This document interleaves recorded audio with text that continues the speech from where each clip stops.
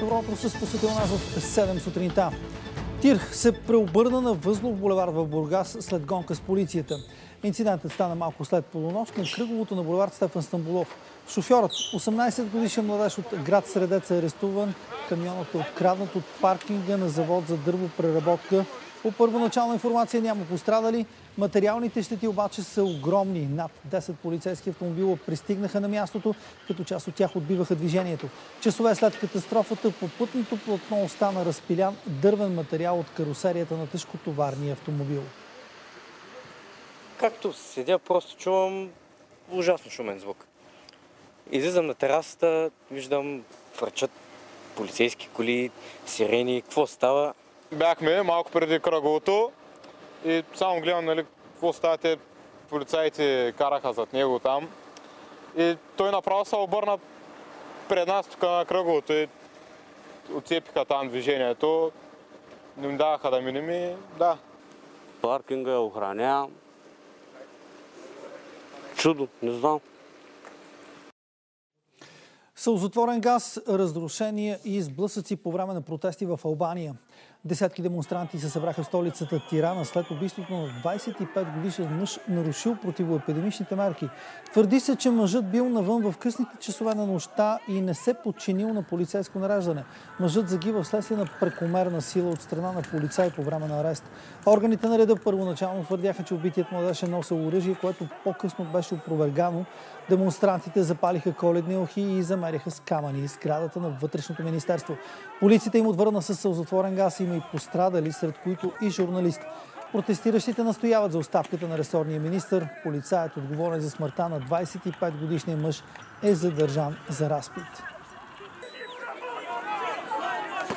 А у нас 3326 нови случая на заразени отчита единният информационен портал.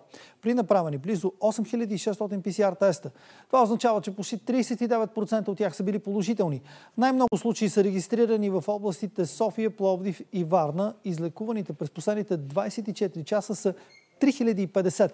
В болница остават близо 7000 пациенти, над 540 от тях в тежко състояние. Починалите за деня са 127. Канада стана третата държава, дала зелена светлина на вакцината на Pfizer и BioNTech. Одобрение за препарата вече има в Великобритания. Вакцинациите започнаха и в Бахрейн. На този фон проучване в Съединените Американски щати показва, че само половината от американските граждани имат желание да се вакцинират. Допитването е по поръчка на Associated Press. Целта на Вашингтон е до месец април да бъде иммунизирано около 70% от населението. Това е една от малкото теми, по които действащият и избраният за президент Тръмп и Байден са единодушни. Лидерите на страните от Европейския съюз се събират днес и утре в Брюксел на среща на върха, на която ще обсъждат ключови теми, като справянето с пандемията от COVID-19, бюджета на Европейския съюз, отношенията с Америка и Турция, климатичните промени. Българският премьер Бойко Борисов също ще участва в срещата. Евролидерите ще обсъждат и предварителното споразумение между германското председателство с Унгария и Полша за дългосрочния бюджет и фонда за възстановяване. Двете държави са готови да вдигнат ветото, което бяха наложили, но се очаква в замяна да получат отстъпки по отношение на механизма за върховенството на закона. Механизмът няма да започне да действа веднага, а поне след две години след като Съдът на Европейския съюз се произнесе за него. Освен това, той ще може да се задейства само при злоупотреби с евросредства. Очаква се председателят на Еврокомисията Урсула фон дер Лайен да информира лидерите за вечерята си с, с Борис Джонсън и за преговорите за търговско споразумение с Великобритания. Двамата се споразумяха до неделя да постигнат някакво решение за, за бъдещето на преговорите за търговските отношения.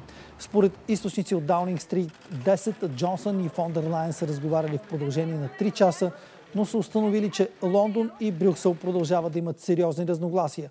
В следващите дни разговорите по Брексит ще се водят от преговорните екипи.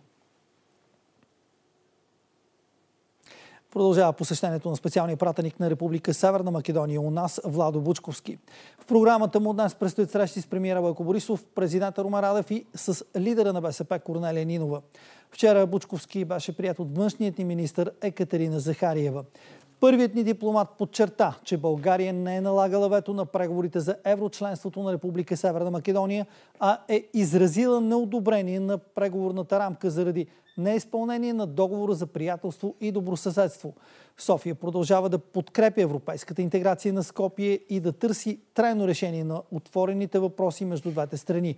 От своя страна Бучковски декларира решимостта на югозападната ни съседка да изпълнява договора от 2017 година. Според него двете страни трябва да се гордеят с постигнатото от съвместната работа, вместо да спорят за миналото. И за финал коледно настроение в норвежкия град Берген беше открит най-големия град от джинджифилови сладки. Малки и големи къщи, местни забележителности, коли, лодки, емблематични сгради и всичко това, направено от типичното за сезона тесто с дъх на джинджифил и подправки. А бялата глазура успешно имитира пухкав сняг. В строежа и изпичането на града се включват децата от Берген и всички, за които коледният дух е важен. Традицията датира от 1991 година и с всяка изминала година джинджифиловият град е все по-голям и по-пищен.